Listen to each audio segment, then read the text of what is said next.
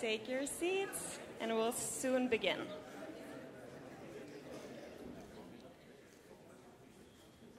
Well, that was effective. Welcome to the University Aula. And before you can begin your evening, I just need to give you a few safety instructions.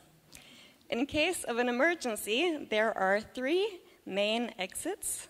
You have the two in the back of the room, which you entered from, and then you have one emergency exit on your far left. Now, if an alarm does go off, we all have to leave calmly because we are in a museum. So there's no running. And although you can exit the aula from many exits, there is one place which is very important. We all have to meet up at the statue of Christie. And if you don't know what Wilhelm Koren Christie looked like, just look for the statue with the lion, and you'll be good. Thank you.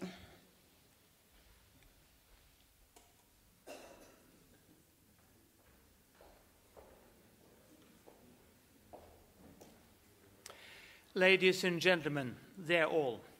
On behalf of the University of Bergen, it is my pleasure to welcome you to the uh, EADI Nordic Conference, to the university and our University Aula. My name uh, is Dag Rune Olsen, and I'm the director at the university here in Bergen. And of course, we are proud to co host this year's EADI conference. The program as least, at the least as I can judge it, is impressive, and the focus of this and uh, the focus this conference has on pressing global and development uh, questions and issues is of great importance also for us as a university, from a, a scholarly perspective, that is. It um, fits also quite well, I'd say, with um, core activities at our university what we aim to be, so to speak. Research on uh, de uh, developmental questions has always been important for us, and in our strategy that I think we, um, well, a couple of years ago, since we decided upon this new strategy, global challenges is one of our prioritized areas. It consists of health, poverty, migration as the three pillars. And of course, it rests on activities and skills that we have developed over years in these, within these fields. We believe that these issues and how we meet them are more important than ever. How do we address them? How do we dig into these questions from a scholarly perspective? But also, how, do, how we um, educate our students to address perhaps one of the most pressing uh, questions uh, of uh, on our globe and, and uh, our time. Challenges in health, environment, democracy, equality, and fair development of our societies require extensive cooperation across disciplines and across different parts of the world. That is why it's so important that we gather. That is why it's so important that we share ideas and also challenge each other from various perspectives from various disciplines and also various parts of this globe. An area where um, collaboration is essential and which has an important place at this conference is to work on UN's sustainable sustainability goals, the SDGs. And the University of Bergen has taken a national responsibility, I'd say, on um, this important topic or regarding this important topic by taking initiative to a common national platform where we discuss the relevance of universities, universities, the educational sector, the research activities to the SDGs.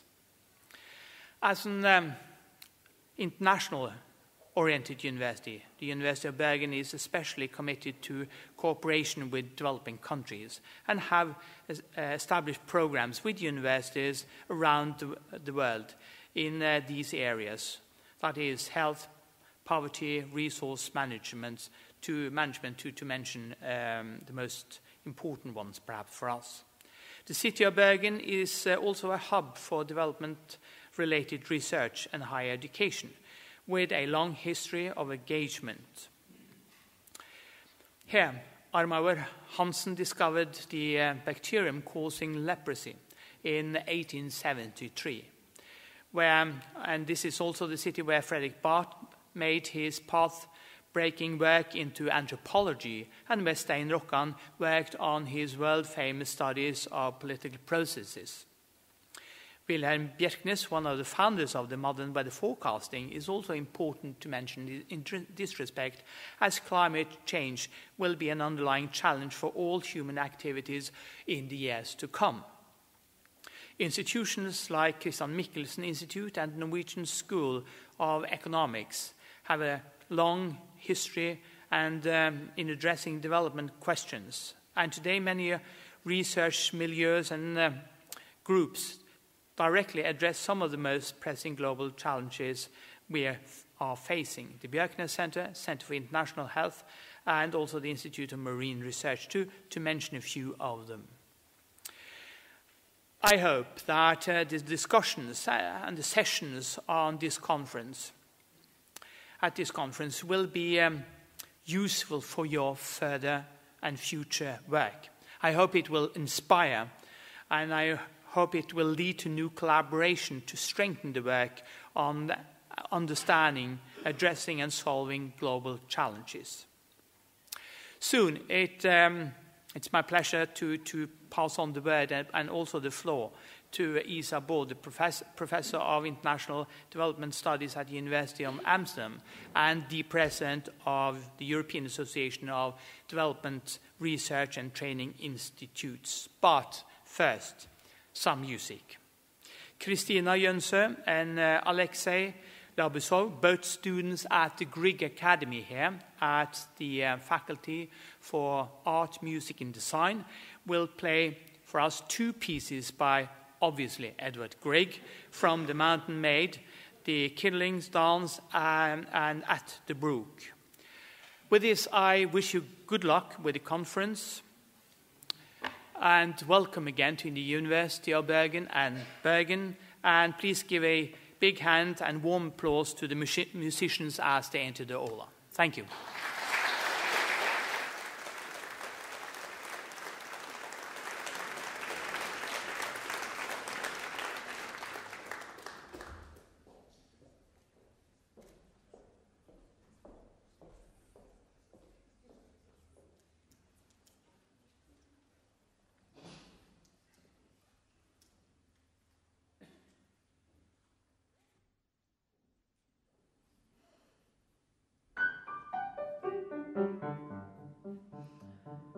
hipp og hoppe og tippe og tappe på denne dag.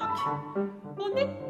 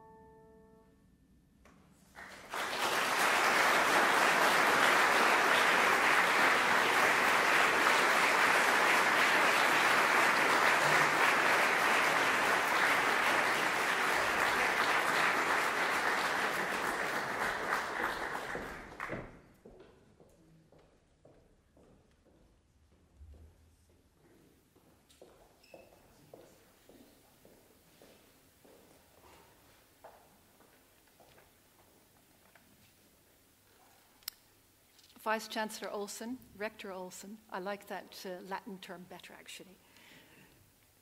EADI colleagues, friends, ladies and gentlemen, let me extend a very warm welcome to you all here in Bergen at the EADI Nordic Conference. As EADI, we are very grateful to the Norwegian Association of Development Research, who is co hosting this conference with us and have found it a great pleasure to work together in the past 18 months. I do believe this conference, and I go back with EADI relations um, back to 1980. Forget that immediately. I have found, I believe this conference is the one with the smoothest organization I have ever seen in the history of EADI. Especially let me thank Erlend Eidsvik, Tord Roe, for their close cooperation with our EADI team, headed by Jürgen Wiemann, EADI Vice President, Susanne von Itter, our Executive Director, and the full teams behind both of them. We have become good friends in the process, and I look forward to future cooperation. Our hosts are, as you can see from your program, the University of Bergen and the Christian Michelsen Institute. The University of Bergen, as the rector has just mentioned, has indicated, is very in- internationally oriented, and your current strategy, focused on sea, life, and society, recognizes global challenges as a priority area. The Christian Michelsen Institute has a long standing focus on development research, and indeed one, is one of the few institutes in Norway which focuses primarily on research in the global south and has been a long standing member of EADI. The work of both institutes resonates with the current theme of our conference on globalization at the crossroads, rethinking inequalities and boundaries. And I would like to thank both Vice Chancellor Olsen, Tora Satterdal of UIB Global, and Director Otto Mæstad, am I saying that right, of the CMI for your commitment to the goals of EADI and the conference. When we started our discussions on the theme for this conference in the management and in the executive committee of EADI, several political processes were making waves across Europe and indeed globally. The USA election process and its candidates, the wars within the Middle East and North and West Africa, the international stream of people migrating for political and economic reasons, and the European countries' reactions, but equally the agreement on the SDGs which was reached and the Paris Agreement on dealing with climate change.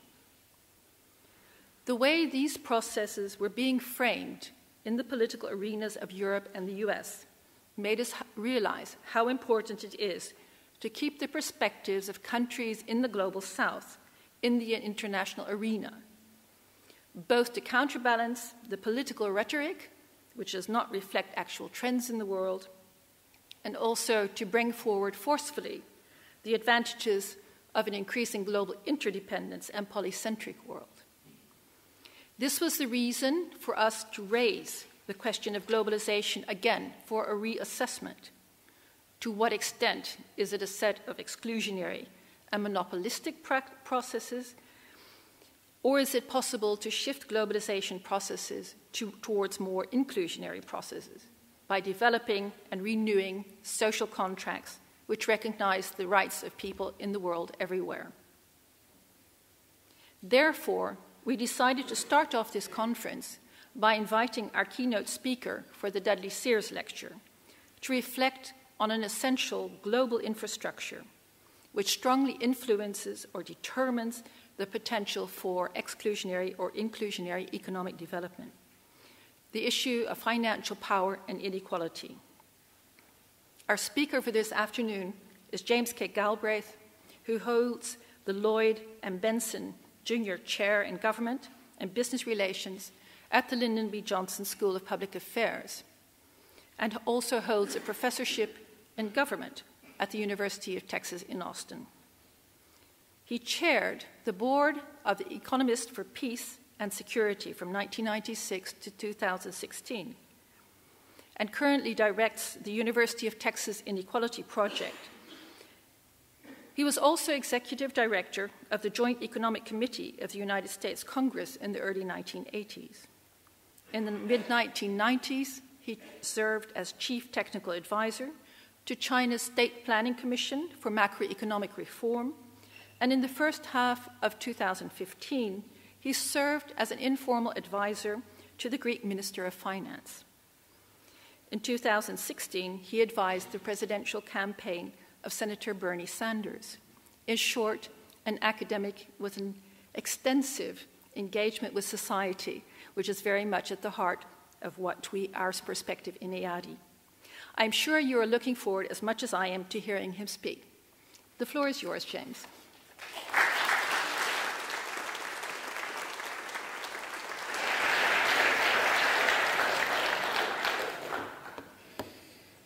Rector Olsen, Professor Baud, my friends, It's truly a great pleasure uh, to be here, uh, to be asked to uh, address this conference and to give a lecture uh, in the name of Dudley Seers.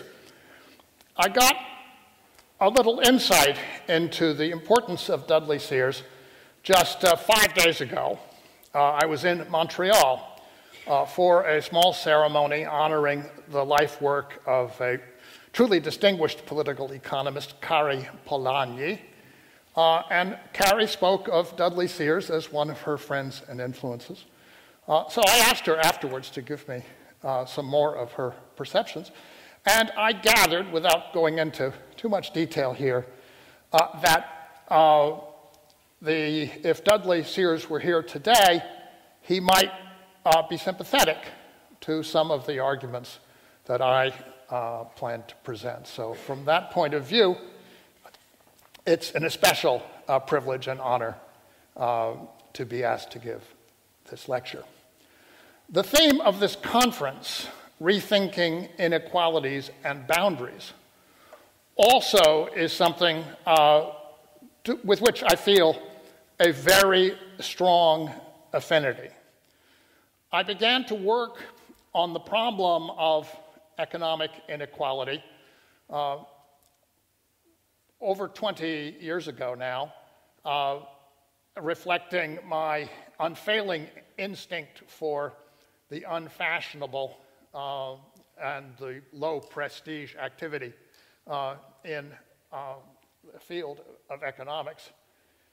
Uh, it has since developed considerably more interest than it was generating back then. Uh, at that time, uh, just as the, the uh, perception that inequalities were rising in a dramatic and disturbing way, initially uh, a perception I think was uh, seen clearly in the United States by the middle 1980s, uh, and elsewhere in the world was an obvious fact long before it was officially measured, uh, was treated by the economics profession largely within a framework of fixed intellectual and geographic boundaries. A, a debate that emerged in the middle 1990s on this topic was between two points of view, both of which were confined to a framework largely of supply and demand uh, in labor markets. On one side, the proposition advanced by um, uh, John Bound and George Johnson in the early 1990s, uh, and taken up since by many mainstream economists, that rising inequality was a matter of the interaction of technology and skill, a, relate, a race, as has later been said, between technology and education. Uh, and on the other side, an argument that was advanced uh, substantially and most prominently by my old Cambridge tutor, Adrian Wood, uh, which held uh, that the issue was substantially related to the globalization and the increase of international trade, uh, and essentially the effective supply of unskilled labor uh, reflected both from immigration and from the globalization of production networks. And in the middle 1990s, those two uh, ideas were essentially, uh, if you like, battling it out uh, in the pages of the journals and, and books. I was asked to uh, look into this uh, debate, to write a monograph on it. Uh, and it became clear to me in the course of thinking about how to do that uh, that it was quite impossible to make a significant additional contribution without first expanding and improving and developing the underlying base of information. And from that uh, insight uh, and the uh, presence, as fortuitously, of a new group of uh, very talented PhD students, uh, we formed what became the University of Texas Inequality Project.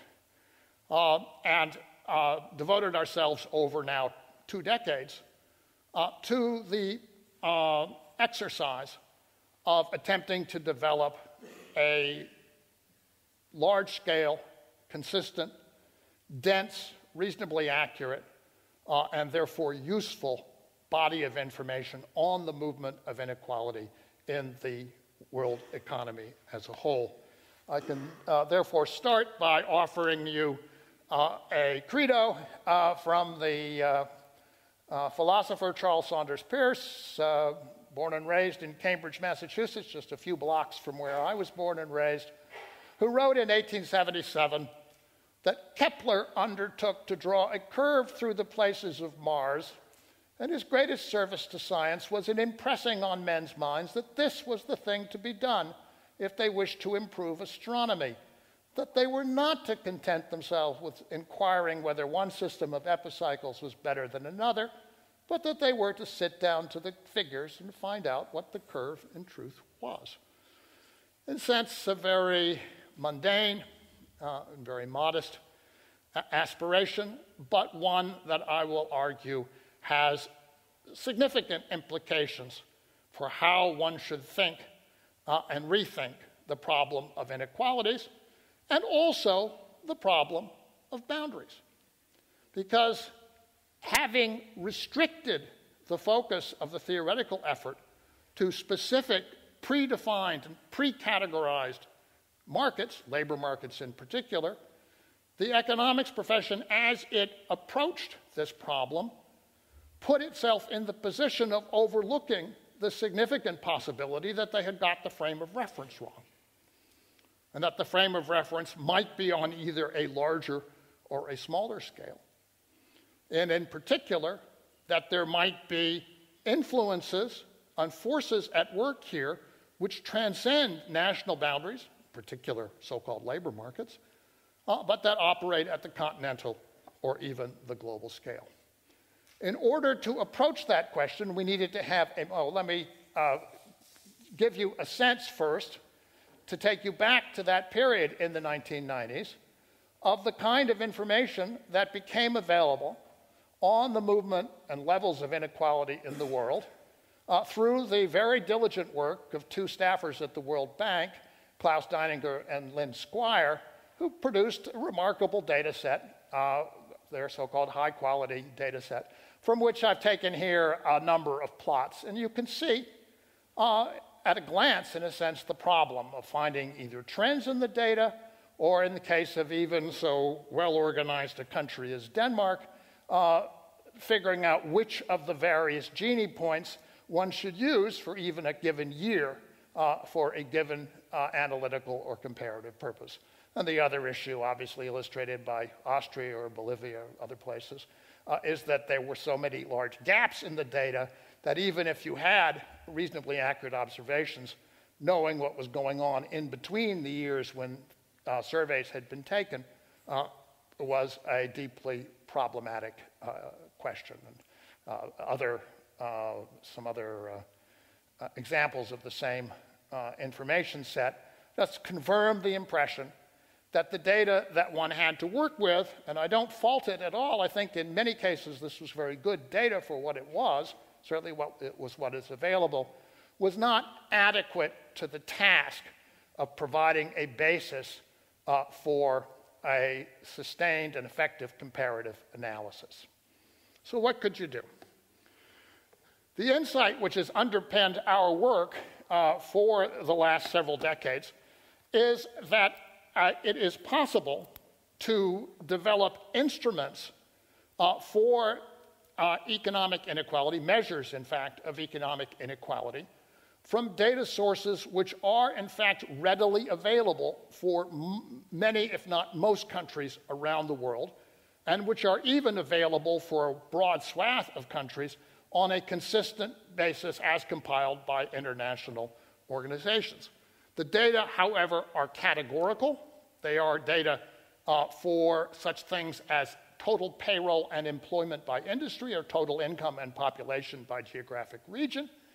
Uh, and so one has to be able to work with data that exist not at the individual level, that are not the product of surveys, uh, but that are administrative data collected routinely for other purposes, but from which one can calculate a measure of the inequality across whatever group structure happens to have been created. Uh, and recorded.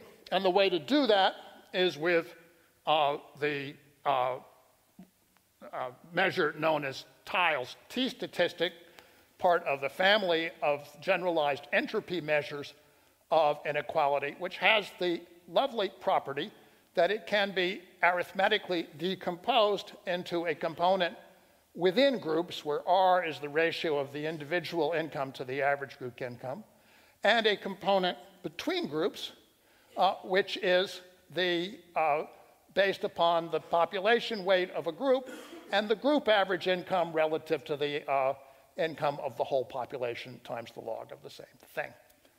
Uh, that is a very, very simple statistic to compute. It can be taught to any graduate student in 10 or 15 minutes. I always used to say, except for a Russian, with a Russian it only takes five minutes. Uh, but the, it's based on personal experience. Uh, it's beyond simple. It just requires uh, a spreadsheet and lots of coffee and uh, the raw material of data tables, which can be collected from all kinds of sources. Uh, and from on that basis, we've been working to build up information about uh, the movement of inequality across uh, regions and countries of the world uh, for, uh, well, as again said, for the last several decades. The data computed in this way has the nice virtue that it can be presented graphically in such a manner as to be decomposed by sector or by region. And here I've done something which is available only by this technique using uh, the uh, NUTS1 regional data available from Eurostat's Regio database, decomposed into six sectors to show the contribution of each sector uh, to the overall level of inequality across the entire continent of Europe without distinction by country. The, uh, the sectors that ha- lie above the zero line are above average income, and all the others are below average. This one, which is blue, is the financial sector. Uh, and you can see the effect of the crisis in reducing the level of, inco- of inequality in the European continent by reducing, for a short period of time anyway, the income of the financial sector relative to what it had been at the peak of the boom. It's a very clear and simple and straightforward way of illustrating the movements of relative income across this very gross sectoral classification and over time.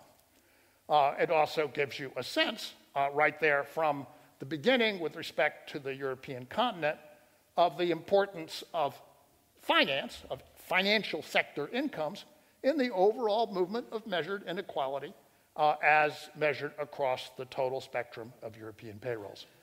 Uh, the same thing can be done by uh, uh regions. This is uh, uh, the same sort of chart, only done across 254 European regions.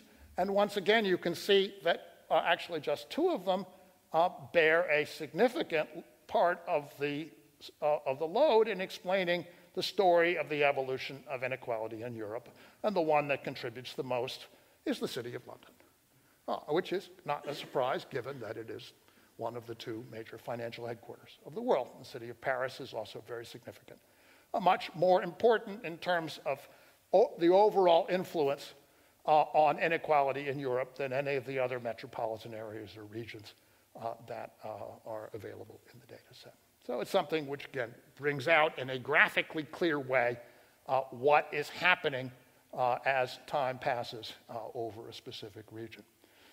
We started very early working on major developing countries, uh, and this is uh, data collected uh, from the uh, State Statistical Agency of the People's Republic of China, published Initially, we got it on rice paper, but more recently, of course, it's been available on the web in their state statistical yearbook. The Chinese data are, of course, suspect, uh, but not for this purpose. And uh, we feel quite strongly because, first of all, they were not collected for the purpose of measuring inequality. That's something we did.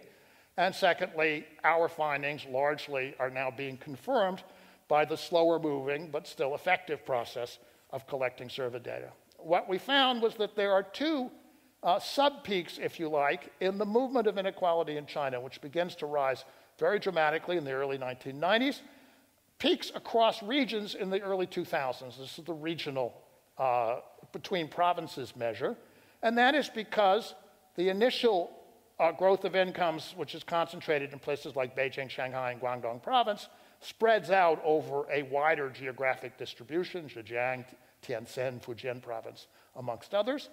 And then there is a second peak in the inequality across sectors, which comes with the crisis in 2008.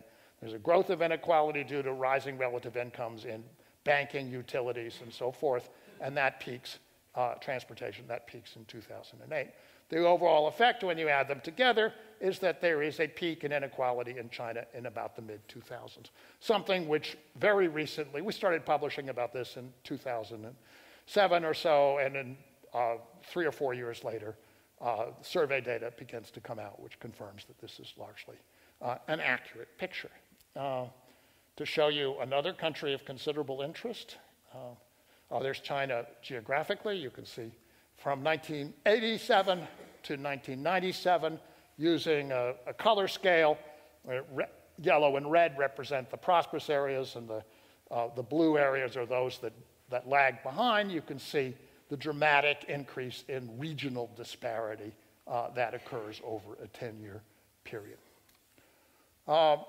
Another country for which it is very interesting to look at this data and from which very good data are available over the transition is the Russian Federation. And this is another way of expressing the same data across something like 70 uh, regions of Russia, oblast and krai and so forth, rayon, uh, with the uh, uh, with the data at the bottom being the individual sectors. And you can see that in 1990, before the financial, uh, before the transition, finance was at the bottom of the Russian income scale. Agriculture was roughly in the middle, and the whole thing was extremely compressed compared to 2000. By 2000, agriculture has fallen to the bottom, uh, finance has risen to the top, and a handful of regions this is Moscow, and particularly finance in Moscow, construction, uh, and energy production in places like Western Siberia are what is driving the extraordinary increase in inequality in the Russian Federation over the transition period. Um, okay.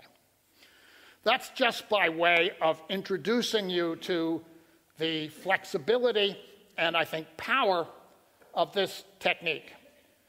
Uh, what we sought out to do next was to find a data source which could be used to compare countries across much, as much of the world as possible. And that data source existed and exists in the industrial statistics of the United Nations Industrial Development Organization uh, in Vienna, uh, which uh, has been systematically compiling this information for a long period of time. So we obtained it, and using the industrial categories, which admittedly are quite limited in their scope, they don't include agriculture, they don't include services, but nevertheless, we will show, produce an inequality measure which acts as a reasonably good instrument, uh, not only for what it measures directly, inequalities of industrial pay, but also for inequalities of household income insofar as we can uh, determine, and I'll give you some evidence on that in a few minutes. What I'm going to do next is show you some maps. Uh, and the maps show not the levels, but the changes in inequality uh, over the entire surface of the globe at six year intervals, beginning in the early 1960s and going up to 2008. Uh, and this color scale is the same all the way through, uh, so try to make it easy to pick out what is going on in the data Light to dark blue are decreases in inequality, yellow to orange to red are progressively larger increases in this measure of inequality. And so all one needs to do is to observe over the 1960s, there's a period of decreasing inequality, equalization that's going on. It begins to weaken in the late 60s. In the 1970s, there's a definite split, the 70 to 76, between oil producing countries. You can see the band across North Africa and Southwest Asia, and the consuming countries, India, the United States, other places. The energy crisis that continues in the late 70s, the energy crisis hits, the, sorry, the debt crisis hits in the early 1980s and transforms the picture in a dramatic way, particularly in Latin America, in Africa, and in fact, all over the world, you're now moving into a period of rising inequality practically everywhere.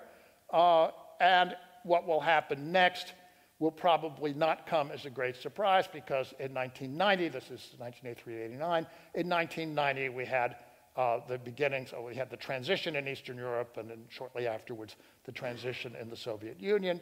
And you can see the dramatic increases in inequality that occur in that part of the world over the course of the first half of the 1990s.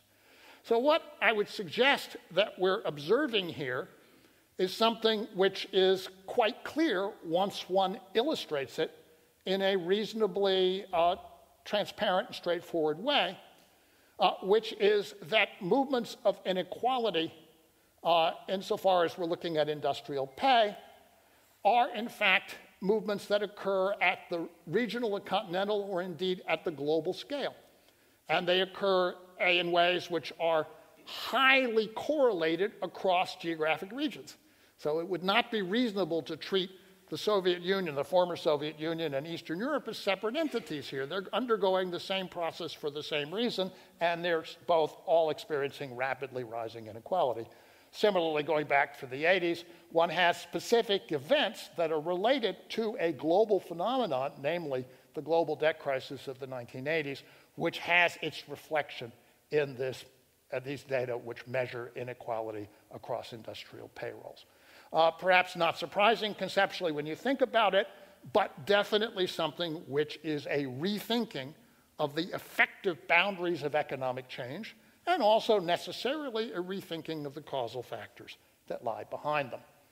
Uh, if one goes on into the late 1990s, the rise in inequality begins to soften a bit, and then in the 2000s, it actually reverses in substantial parts of the world. This is the last I've got, is 2003 to 2008. And you can see that for various reasons, good or bad, uh, the major period of rapidly rising inequality, at least in this data, appears to be over provisionally uh, at this time. So it is not the case that uh, inequality is always rising everywhere as a feature of capitalism.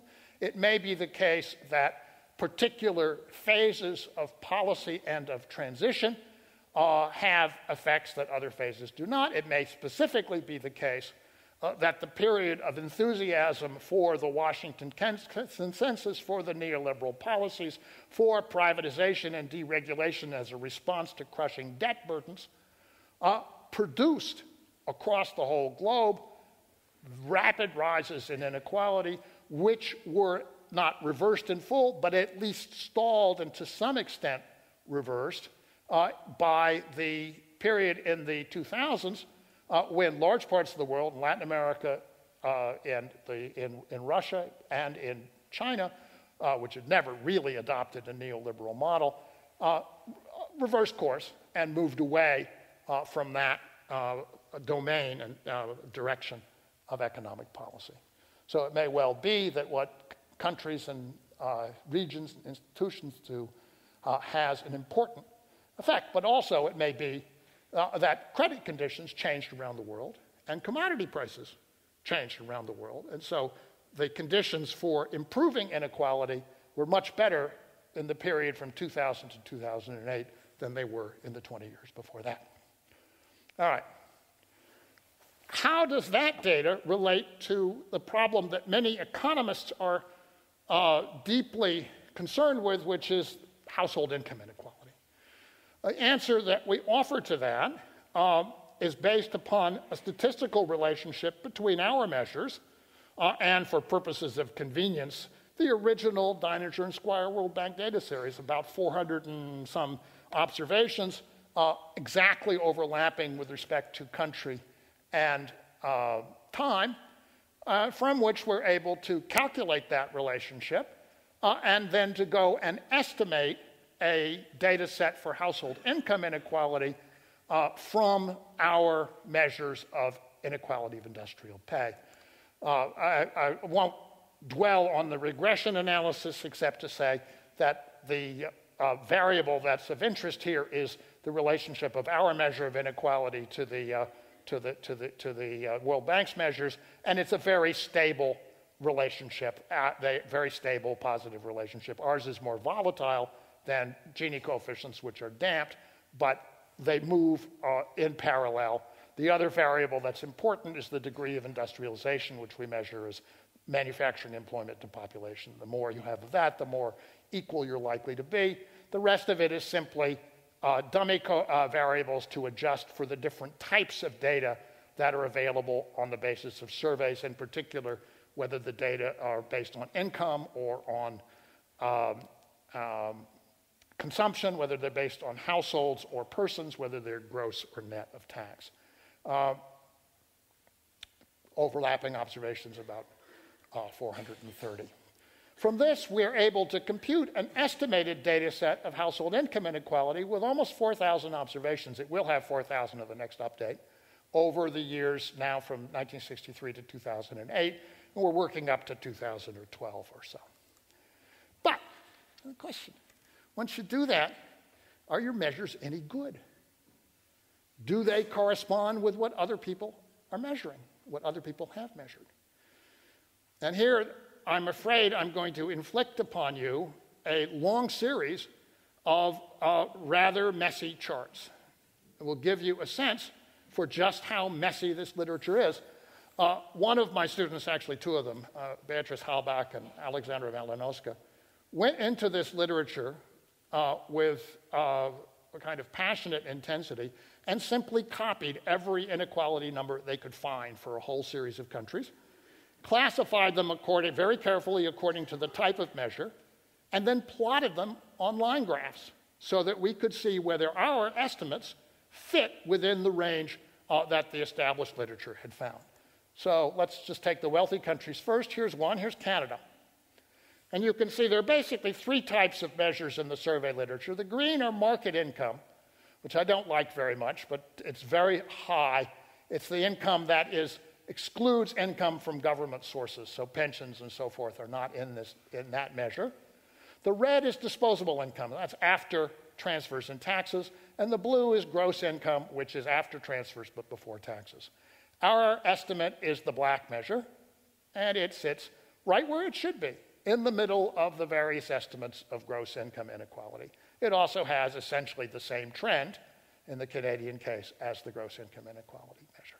So if that is the pattern over a whole series of countries, I'm going to offer it as evidence that our very simple model, which just is based on two coefficients, one of them being inequality of industrial pay, which is the active coefficient, does a very good job of capturing both the level and the movement of gross income inequality. And now we go through and show you the mess. This is Denmark. You can see Denmark's a very highly studied country, but there are lots of different measures, and they're not exactly the same. Uh, so one has market, gross, and net, and ours falls nicely in the middle of the gross. Similarly, France is a, very, is a country with very sloppy measures, but we're again in the middle. Uh, Germany is a country with excellent measures. I like them because ours lies exactly along the line of the gross income inequality survey. This is the uh, late and unlimited uh, Deutsche Demokratische Republik. You can see it. Inequality declined to the point where the country collapsed. Uh, Greece, sloppy measures, but our, again, our model seems to work pretty well. Italy, similarly, Japan, Netherlands, Spain, Sweden. I don't know why Sweden's measures are as sloppy as they are, but they are. Uh, the, uh, the United Kingdom, we seem to be exactly on track. For the US, slightly complicated picture because our measures fall, while they track up to the early 1990s, they fall below most of the other measures in the late 1990s.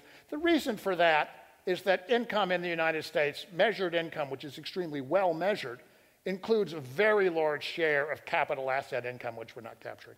And most countries' income measures simply don't have that in it either because people don't have the capital asset income or because it's not effectively recorded by tax authorities, which it is in the United States. These are the CBO's numbers. And you can see a peak for the boom of 2000, a peak for the boom, uh, the mortgage fraud debacle of 2007, and collapse afterwards.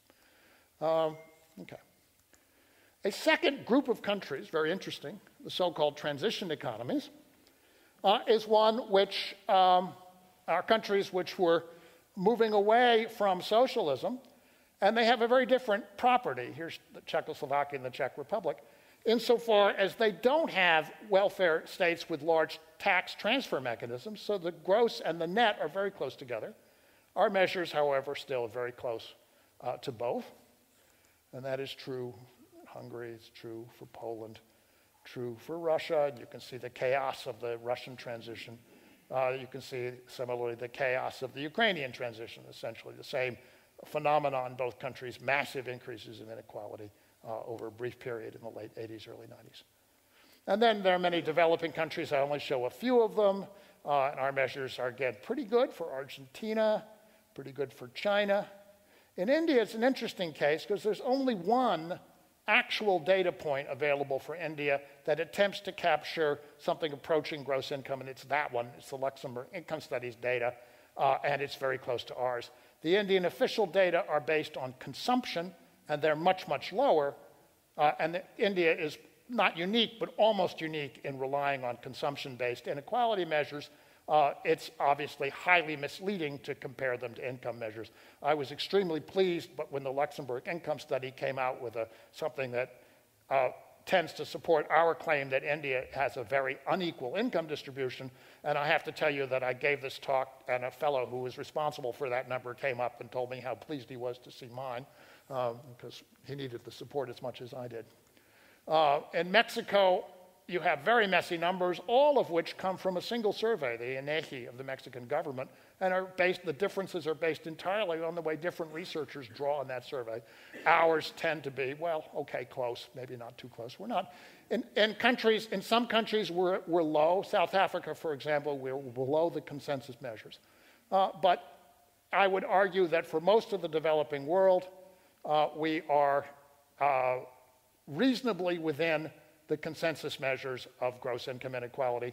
And our measures have the advantage of being much longer and continuous in time series uh, and directly comparable from one to the other. So, from a research standpoint, it's an extremely useful, I think, I, I would argue, useful exercise.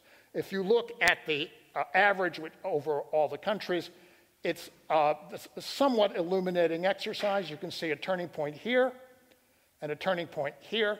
This is the breakup of the Bretton Woods system, the commodities and uh, debt boom that followed through the 1980s.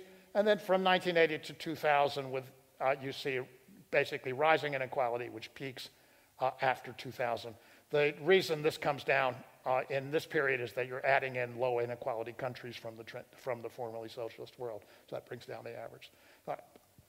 I could do a more sophisticated measure, but this is just to give you the idea that there are definitely global trends here.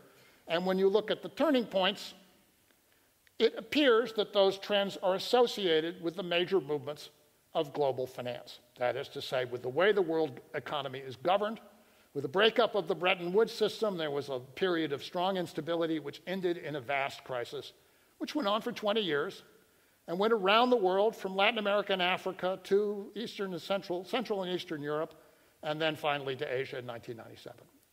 In 2000, again, a turning point. Interest rates fell, commodity prices rose, and the conditions made it, of the world economy made it possible for governments that were so inclined, Brazil, for example, uh, to pursue policies once again that reduce poverty and inequality in their domestic spheres. All right. I want to give you an overview of the household income inequality numbers. These are now on a scale uh, that is simply the familiar Gini coefficient. Dark blue is the lowest numbers, uh, red is the highest, yellow, orange, red, a natural gradient. And you can see in the 1960s a world in which the advanced countries uh, had relatively large middle classes and relatively low inequality measures, uh, and the uh, countries of the tropical and developing world uh, had the opposite relatively small, if not non existent, middle classes, and relatively high inequality measures. These are just decade by decade averages. So, to give you a picture of the coverage of the data over time and what's happening to it, again, something which is visible, and you can see as this, we go into the 1980s and particularly into the 1990s, there we are, as the uh, Eastern world comes into the data set in a clear cut way, that things are really changing. And in the 2000s, the world of the 2000s looks much more like the developing world of the 1960s, with only just uh, a few countries here Sweden, Finland, uh, that uh, maybe one of the Baltics is in there, that uh, uh, Czech, Czech, Republic, uh, that continue to have measured levels of household income inequality that were comparable to what most of the advanced world had in the 1960s. So the world really has become more unequal over and particularly as a result of this vast period of rising inequality in the neoliberal era of the 1980s and 1990s. Uh, that's uh, the broadest picture I can draw for you. Uh, but I want to say now a word or two about causal mechanisms. Uh, because uh, showing the trends and showing the turning points, I think, carries some weight, uh, it is helpful to develop the argument uh, with a greater degree of intensity and detail.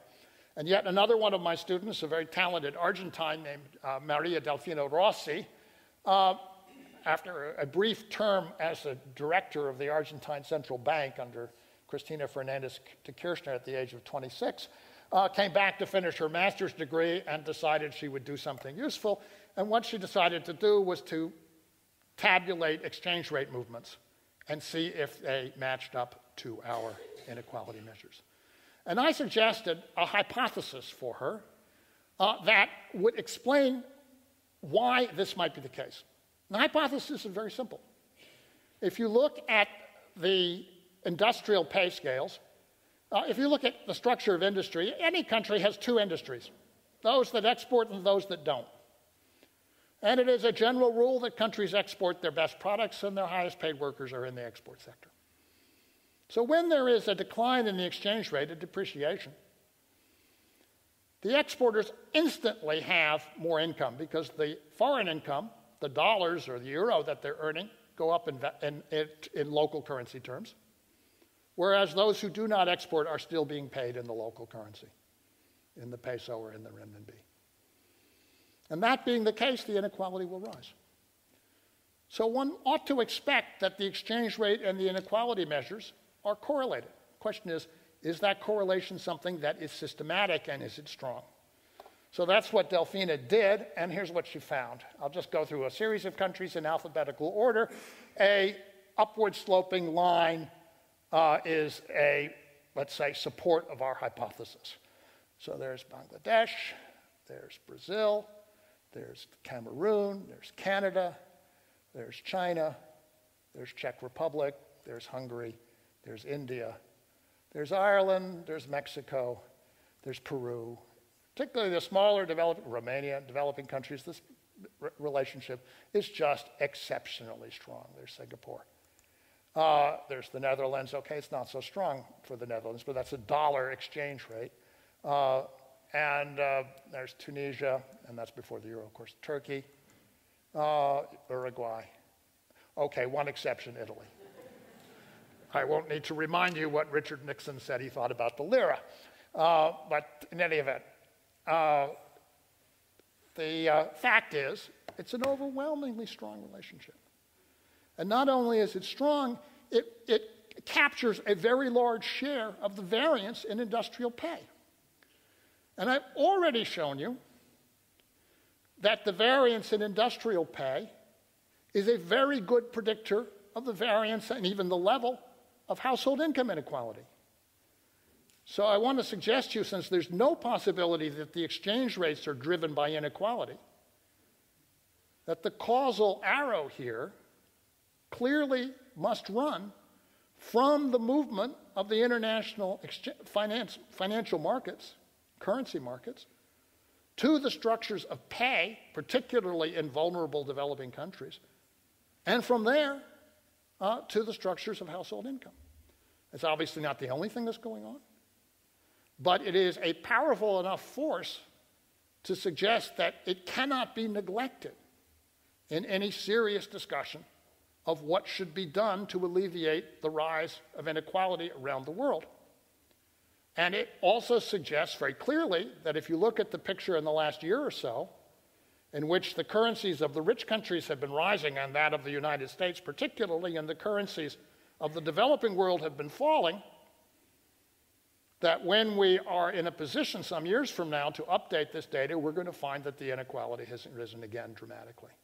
But I think it's obvious that it has. If you look at Latin America, confluence of Economic and political events are driving inequality up and reversing the gains of the last 15 years. That's what's going on in the world. And what's going on in the world is a demonstration of the power of finance. And unless that power is controlled and regulated, it will come back again and again to undo the, uh, the work of progressive social movements progressive governments, trade unions, uh, social development forces, uh, by making it harder and harder for poor people to keep up uh, with the wealthy.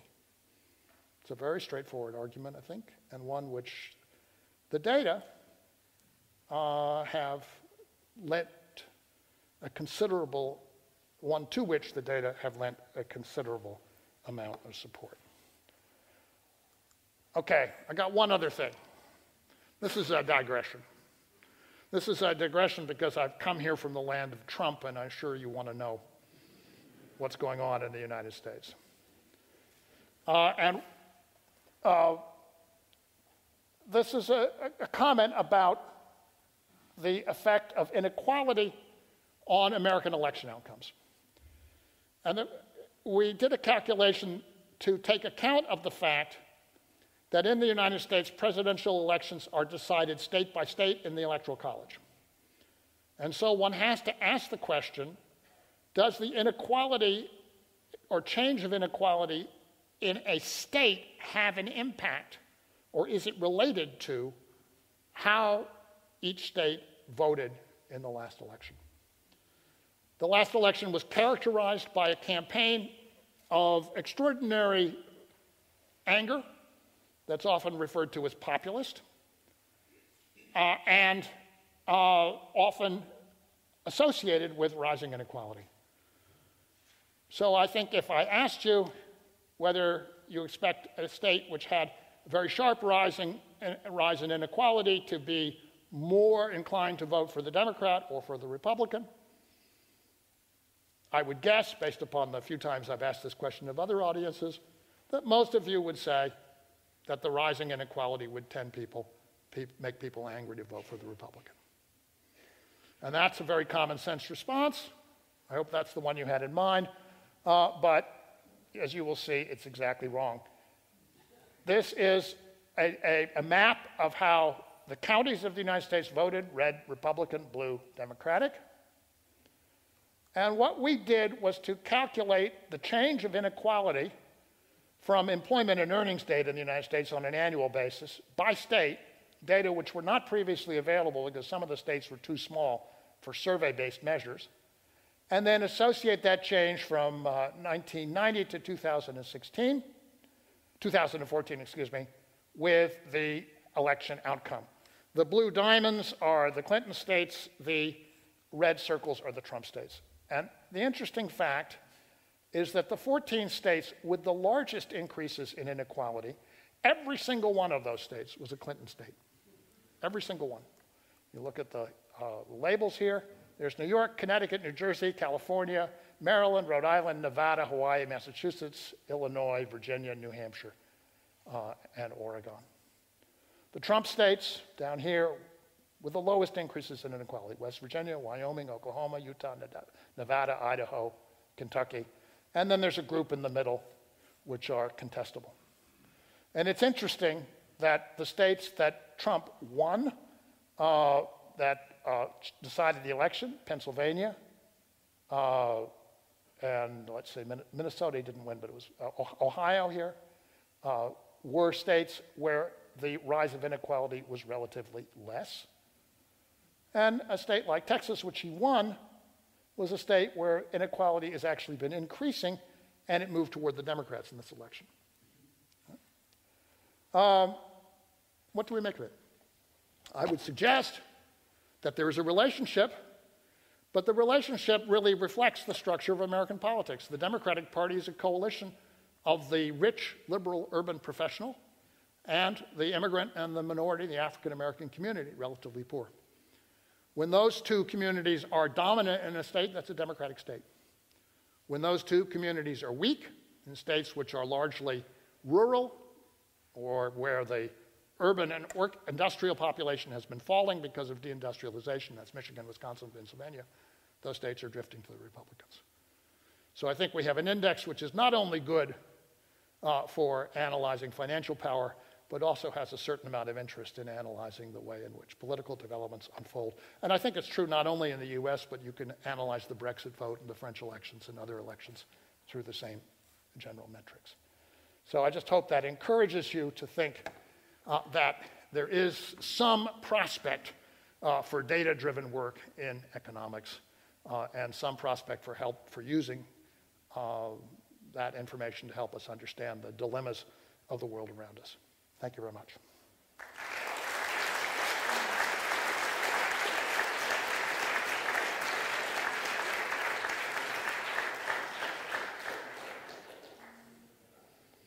I promised 45 minutes. I see I spoke for 46 minutes and 13 seconds. And I hope I've left time for questions if you have some.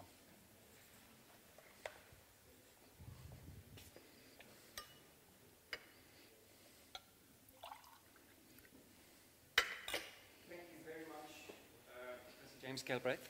Are there any questions or comments from the audience? There are still some time, if you like.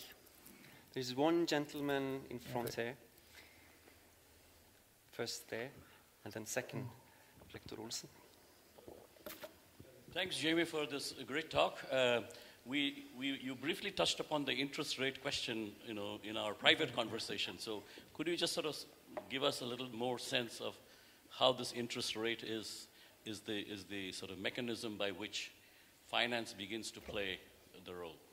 Well, I, I think one has several things going on. One is the extent to which, uh, let's say, global financial, financial markets globalize, uh, and that is the openness, uh, which is particularly great amongst the smaller countries. It's the large countries, the China, the India, the Brazils, uh, that maintain capital controls. Uh, I have to say, my one contribution to the well being of China during the time I was working for the State Planning Commission was to recruit Robert Eisner, a figure of considerably greater weight than myself, to talk them out of liberalizing the capital account uh, in 1995. Um, the, uh, so when, the when you have a situation in which the indebtedness in that system has uh, gone up and uh, the, the debts are such that they are tied to flexible interest rates, then when Paul Volcker raised the interest rate to 20%, the base rate in the United States, well, the wheels of the world froze. The banking system then went into reverse, and everybody either, either well, their economy crashed and ultimately they defaulted. Uh, and that created a essentially dysfunctional environment that affected affected countries according to the strength of the, uh, and the ability of their institutions to resist. The developing world, Latin America and Africa, was vulnerable. They had to adjust by crashing imports and, and deindustrializing. Uh, Central and Eastern Europe and the Soviet Union were uh, strongly affected. Poland was in debt, the, Russia was in debt. Uh, but they, they, they, their institutions lasted another five or ten years. And then the Asians uh, were hit in the, in the late 1990s. So that seems to me to be an integrated explanation in which the interest rate plays an important role, uh, but it's not the sole factor. It has to do with also with, with how much debt is affected by global interest rates and how much protection societies have from uh, that kind of influence. I, I strongly believe in the importance, therefore, of large countries maintaining capital control and of smaller countries forming Uh, unions, financial unions, to protect themselves and stabilize themselves so that they're not being governed according to the whim or the domestic policy purposes that may emanate from New York or London.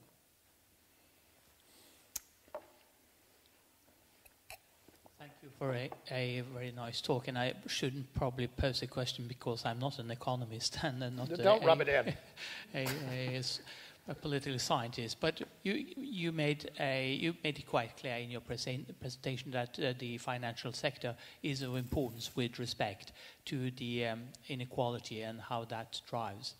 Uh, but it, to me, it seems also that there's a limitation to what the national le- uh, regulations of the financial sector are able to, to combat these. So, so what we, do we do then? Because national governments obviously only have the responsibility and the possibility of uh, national and local um, regulations, but that's not sufficient, is it?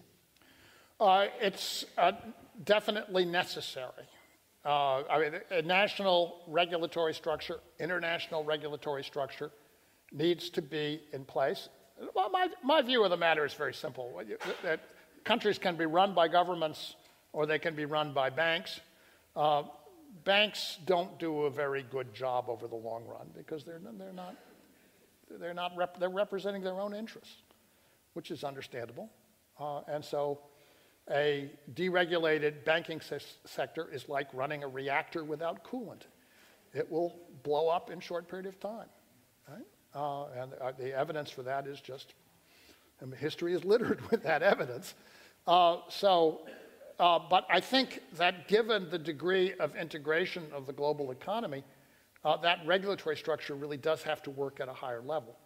Uh, it would be nice if it worked at the same level as the banking system itself, but that's hard to achieve because of the unwillingness of the major banking countries, the US and the UK, uh, to participate effectively, right? which they, they regard their banks as instruments of predatory control of the rest of the world.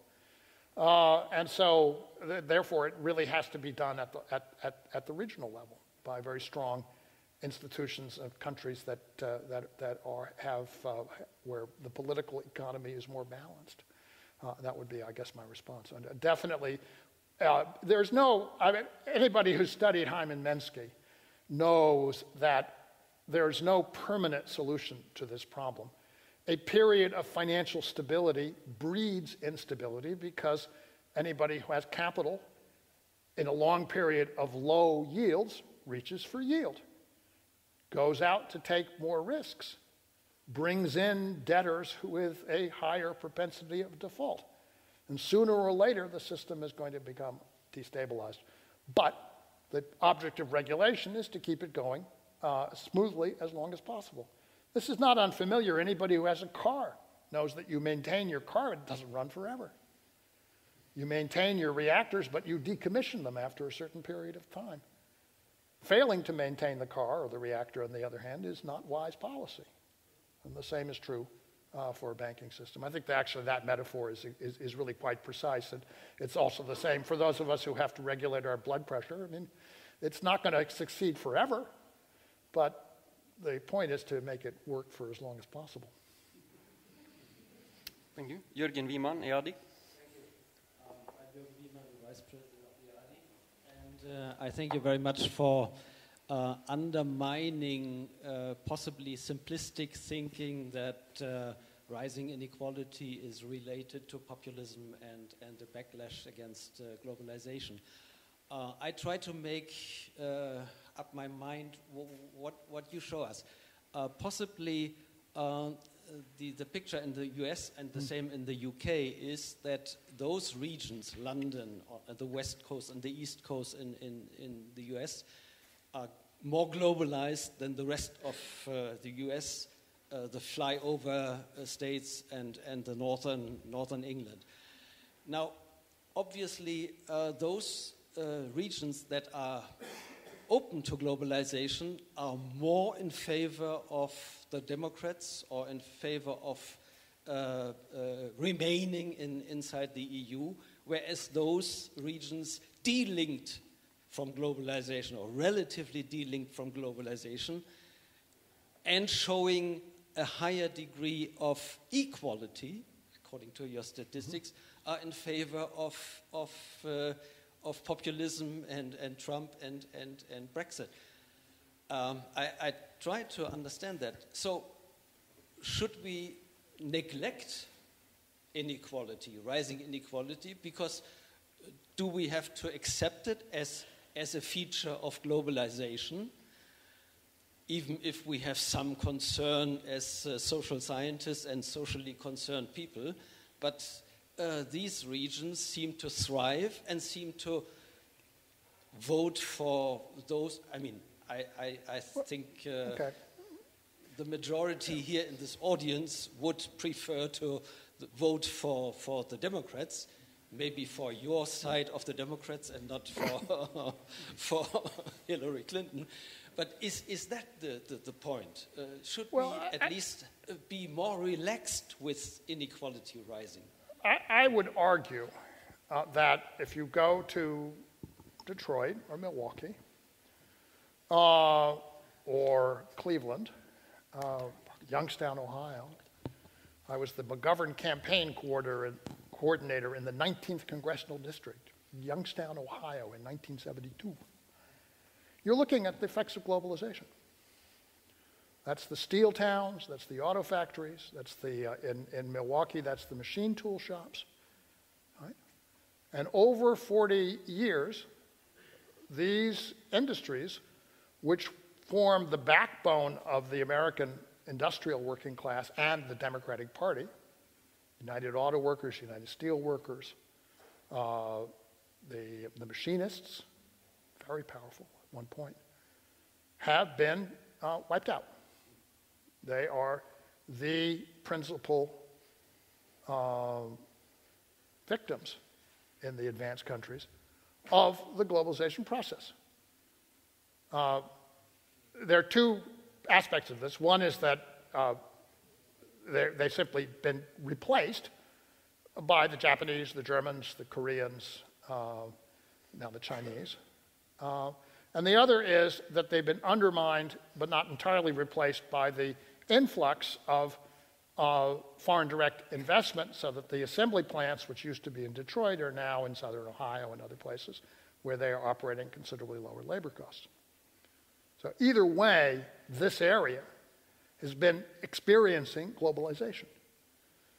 The difference is that in the East Coast and the West Coast, you've got the sectors which have been winning finance on the East Coast, insurance, Connecticut, higher education, scientific research in Massachusetts, and technology on the West Coast. Aerospace in Washington, software in Washington, the Silicon Valley phenomenon. That's where the very high incomes are.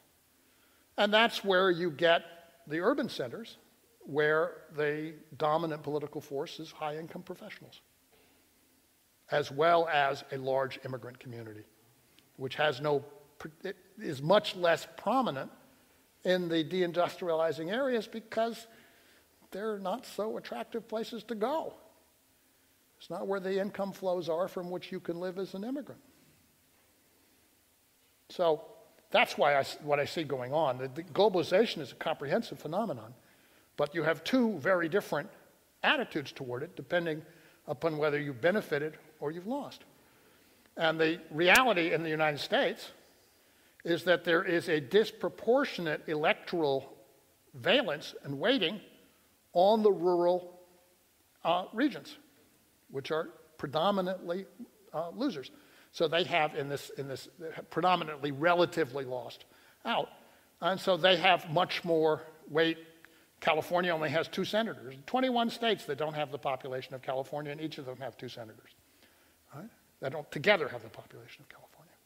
The House of Representatives has been redistricted in such a way as to overweight the rural uh, and conservative districts uh, because they put all of the minority voters into, into Democratic districts so that they don't spread out and influence the vote in other districts. Uh, electoral college, similarly, same reason as the Senate, is weighted toward the. So it tips the balance of power in favor of those who are playing on the anger, which is justified anger. And that, I think, is very, see the same thing in France, the eastern France, the National Front areas. Same thing in, in, in the, in the Midlands and the north, north of England, the Brexit areas. it represents a failure, a failure of policy to address the regional aspect. People can always leave. They do. They go to New York. They can live good lives there. They go to California. They come to Texas. But the people who are left behind are the people who still vote in those regions. And if you don't address that problem, you are going to end up with a political divide which gets larger and larger to the point where it becomes unbridgeable. And that, I think, is happening in the United States. Uh, it is happening, and the Democratic Party has not really addressed this problem, come to grips with it. Um, it's also obviously behind what was the remarkable um, disaster of the Brexit vote, right? where people voted for something whose implications they did they couldn't understand because it had never been explained. They were simply told by the high and mighty that this would be a, a terrible thing, and the, the high and mighty were unable to relate it to their interests or to respond to what those interests actually were. Thank you so much. We allow for the very last question, a very short one, and with a short answer, and then we proceed. Thank you. Uh, thank you for a very interesting uh, presentation. I have two small questions, also on the last slide. Um, uh, if I understood you correctly, you uh, looked at the voting pattern compared to the change in inequality. Uh, yes. Did you also look at? Uh, did you also compare with the absolute levels of inequality, yes. and would the picture look different then? And my other question is: Did this measure of inequality include the capital income or not? And the answer to both questions is yes. Uh, this is. Um, we did do the levels. I, I use the change because it's it, it, the, it's a little more dramatic. Uh, the, I, maybe it's the top 10 or 12 states at levels. Uh, but since the states were much more equal 25 years ago, the change and the levels are highly correlated. Um, the, um, and, and in terms of capital income, the, it's, not a, it's not a tax based income measure, so it doesn't capture realized capital gains. Nothing captures unrealized, no data captures unrealized capital gains. What it does capture is earnings by sector and state. Uh, and so you have a great deal of income in the US in the advanced sectors and the financial sectors, which is the result of stock options realizations or, uh, or, or, the payout from venture capital. Right, in, the, in a startup firm. So, and that is registered and taxed as it's registered as payroll taxes income. We are capturing that. Uh, so it's what our measures are going to be very closely associated with the tax measure of capital gains. Uh, that includes capital gains. And actually, uh, an interesting uh, detail. Uh, we've done this analysis across counties in the U.S. There are 3,150 counties in the country.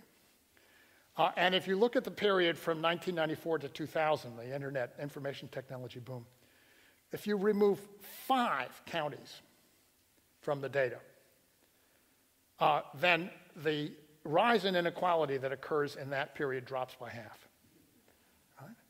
The five counties are, you guessed it, Manhattan, New York, New York, three counties in Northern California Santa Clara, uh, San Francisco, and um, San Marino. I, say, I, think that's the third. Uh, and um, uh, and King County, Washington, Microsoft. So that's where the, the stratospheric spheric incomes captured in very, very small part of the country. And much of the rest of the country didn't experience the dramatic rise of inequality. It really is a phenomenon. Rich people concentrate in very small places. That's where they report their capital gains and their, and their venture capital incomes. Professor James Galbraith, Thank you so much for giving us an excellent kickstart of this conference. Uh, you have provided us with, uh, with a backdrop that is useful for, for all of us, independent of, uh, of disciplines. I do um, want to call attention to the multinational character of my team a Korean, a French, Polish, Argentine, Iranian, and Chinese. There we are.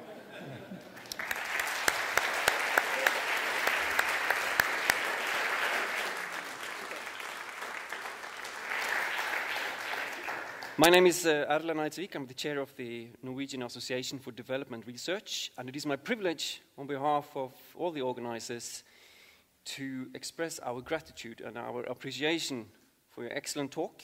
We do that by local produce, local products, and uh, a locally written book from the Rafto Foundation, but with a very international um, theme. So there you are. Thank you so much.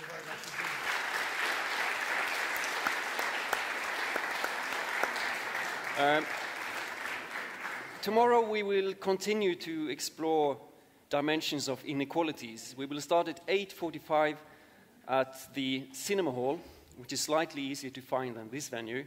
It is just across the street from the Scandic City Hotel, the conference uh, hotel. So be, be there before 8.45. We start sharp at 8.45.